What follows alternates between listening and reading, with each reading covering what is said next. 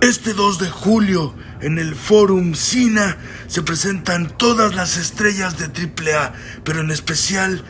Dave the Clown, un evento que no te puedes perder, porque si te lo pierdes, te carga el payaso.